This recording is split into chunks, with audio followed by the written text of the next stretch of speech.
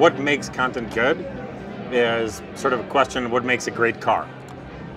That depends on who's driving it and who's using it. Um, so you know, it's, it's the same issue that agencies are having when clients come to them and say, we want to make a viral campaign. If you're in a consumer facing business, it has to be about them and not about you. Even though you're now dealing with all these troublesome changes to your business model and how do we do this efficiently, how do we make money at it, you have to start by saying, what's the consumer really want? The shift from content being king to context being king. And what I mean by context is, in order for me to know that something's going to be relevant in the moment, it's got to have time involved in it, location involved in it.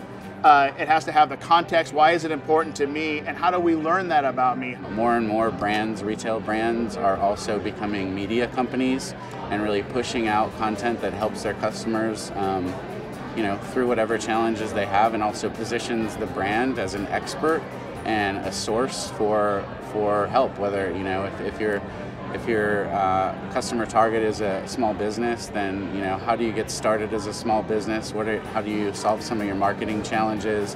What are the technical um, components that may drive efficiency in your business, finance, things like that? So having that that great content as a brand is really an asset that you can push out into the social space as well, and uh, helps tremendously with positioning.